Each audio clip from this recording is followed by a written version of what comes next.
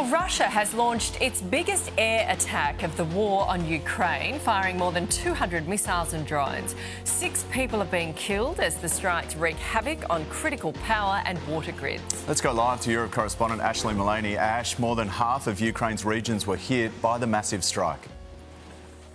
Shervo Nat, good morning. A total of 15 regions across Ukraine were hit in what was the biggest aerial bombardment since the start of the war. More than 200 drones and missiles raining down on Ukraine. There were a total of six people killed, plenty of other injured, others injured. As you can see, this is a power plant there. It was clear that Russia was targeting Ukraine's power grid. In the capital, Kiev, we saw people taking shelter in train stations underground as those those air raid sirens went off and they could hear the explosions.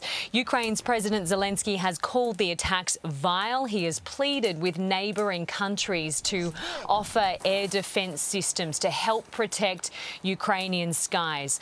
We are now more than 900 days into the war, but we have hit this very volatile point. Ukraine has now captured part of Russian territory uh, in the Kursk region. They've taken a parcel of land there. Moscow vowed retaliation retaliation for that, and that is clearly what we've seen play out today. But just extraordinary to think that for almost a thousand days, Ukrainians have been living with this ever-present threat in the skies above them, guys. Yeah, it is, and we can't forget what suffering those people are under, can we? Thank you, Ash.